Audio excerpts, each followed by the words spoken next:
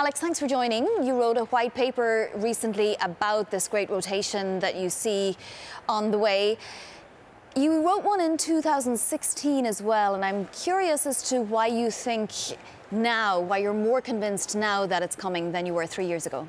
Well, good morning, and uh, thank you for having me.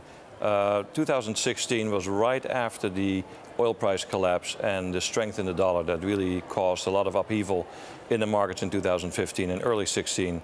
We thought that was an inflection point, and indeed uh, there was a resurgence in value stocks for about a year and a half. But with the advent of the uh, tariff wars and with Brexit in particular not working out very well, everybody resorted back to growth, large cap tech, and story stocks.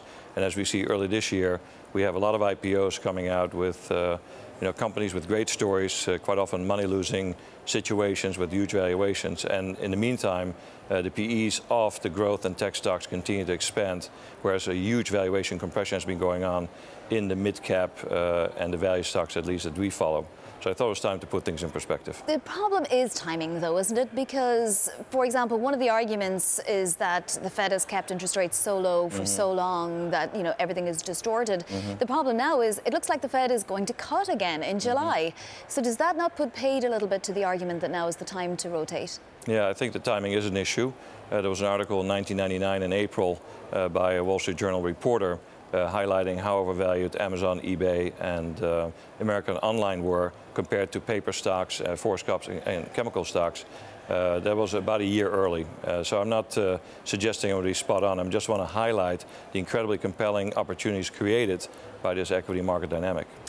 The other part of the argument is that there's what about two and a half trillion dollars, according to Preqin, of private equity money out there sloshing mm -hmm. around looking for homes. People are just looking for places to invest. Mm -hmm. Is part of your argument that that capital will go to work on some of these mid-cap mm -hmm. value? Uh, it's very hard to do a hostile deal these days. I think it's rare. Uh, but there's a lot of private equity dry powder around. I think there's a hesitancy on behalf of corporations to do M&A, as well as private equity to do large deals. Uh, there's some going on, but uh, they're ho holding back uh, pending resolution of the tariff war situation and Brexit as well. So I think once these macro issues become more clear to most people, there will be an increase in, I think, over, takeovers, private equity, strategic, and even in activism. hostile deals are very hard to do, but uh, I think private equity in combination with working with companies and large shareholders can get uh, more deals done in the coming years. Does your argument hold up no matter what the outcome is to the tariff discussions, even if we get more tariffs put on China, even if the tariff war heats up? And also on the Brexit side of things, if we get, you know, one or other mm-hmm. outcome mm -hmm. to Brexit?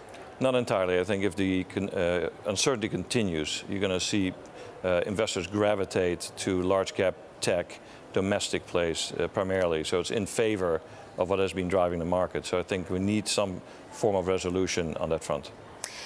You're also active. You're an mm -hmm. active investor, and I just want to show the viewers some of the companies that you're involved in. Mm -hmm. They include o Owens Illinois, mm -hmm. Huntsman. Where are you active? What companies are you active in? Well, in all of our core holdings, we're in active discussions in a constructive way with management, as we always have been for the 30 years we've done this. Uh, we have been public with our activism on Owens Illinois. This is the largest glass bottle manufacturer in the world. In fact, 25% of all the glass bottles in the world are made by one of their 77 plants.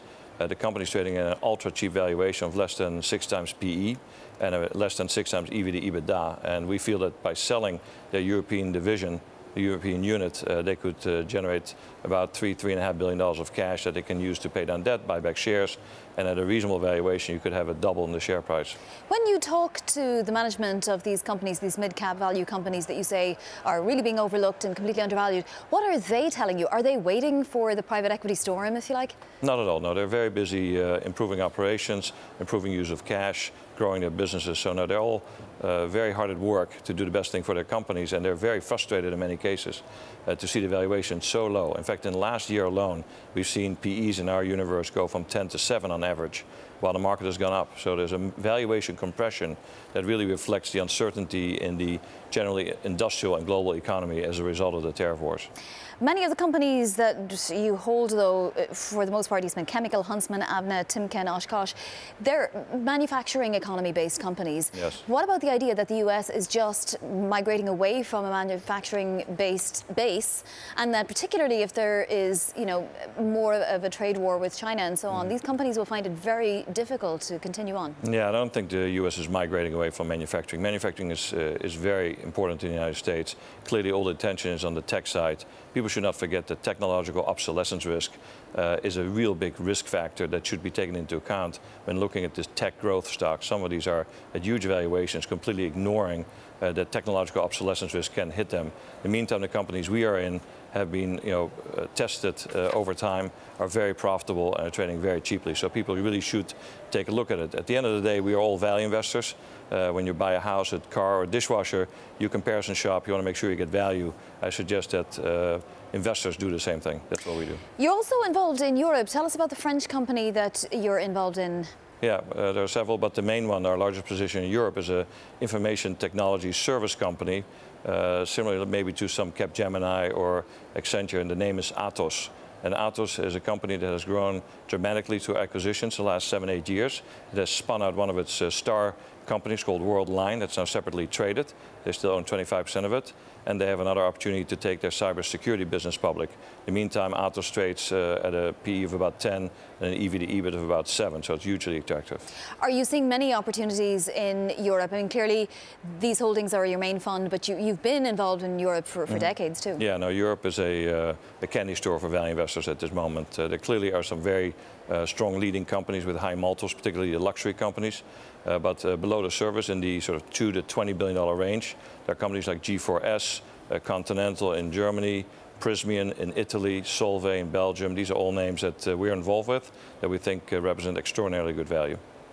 You're one of the more successful hedge fund managers out there. We've seen so much disruption in that space and you know not many managers around for multiple mm-hmm. decades. Mm -hmm. You've managed it. Talk to us about styles. They come and go. Mm -hmm. What's, I mean, obviously you probably mm -hmm. say that value is, is, is next to be. Well, I only know one style. I stick to what I know and stay with a universe that we're comfortable with. Uh, value investing will never go out of style. I think to buy things low at good value uh, makes sense uh, through the decades and the centuries even. So uh, we know that there's different dynamics uh, at hand and that uh, from time to time biotech, emerging markets, high tech uh, will be in favor. Right now we're in a 10-year growth cycle. It's driven by a lot of factors including lower interest rates and money flowing endlessly into ETFs that are again buying the same names.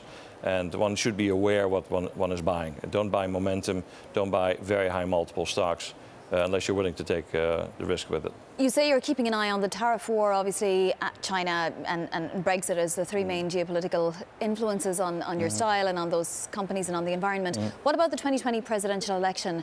Does that change the timing of this great rotation at all? Do people wait and see what happens next? It's extremely difficult to say. Uh, clearly, if there's going to be a change in administration, it'll have a significant impact on on what's going on in the economy, investor sentiment, etc. It's very hard to gauge that. Clearly, it's going to be a headline, market-moving uh, uh, aspect. Very brief question on Tesla. I know that you also have a short mm -hmm. element to your portfolio, yeah. 25 to 30 stocks at a time, and you're in and out of Tesla. Given the most recent memo and the most recent sort of uh, optimism from Elon Musk, mm -hmm. what would you be doing with Tesla now? Out shorted. We are shorted. Um, at the end of the day, if they achieve margins like General Motors on 2021 earnings and trade at a multiple twice General Motors, they should drop 55% from here.